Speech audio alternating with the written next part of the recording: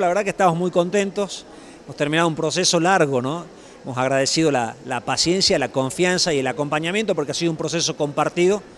Y hemos terminado, hemos ya conformado un registro único de guías, hemos entregado las credenciales en el día de la fecha a aquellos que han pasado sus exámenes, aquellos que eran guías idóneos, que debían acreditar esa, justamente esa capacidad para poder ser guías. Y obviamente a aquellos que tienen el título se les entrega el, carnet y podrán seguir engrosando este registro único que hoy tiene 473 guías. Para nosotros es importante dignificar y profesionalizar justamente una ocupación, un oficio como es el caso de los guías, pasa un poco por el objetivo que nos había planteado nuestro gobernador de empoderar a la sociedad civil, darles herramientas para que ellos puedan trabajar mejor, así que muy contentos con lo que hemos logrado en el día de la fecha. ¿Cuántos guías aproximadamente se vieron beneficiados en el día?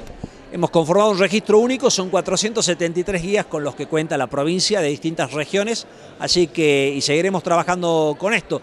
Hemos anunciado también un plan de capacitaciones para ellos, de actualización de contenido, pero son los primeros que reciben ¿no? a un visitante que, que decide justamente llegarse hasta la provincia de Salta. Generalmente son aquellos que van a esperarlos, que van a acompañar y que le van a poder transmitir la riqueza que tiene nuestra Salta desde el patrimonio natural y el patrimonio cultural.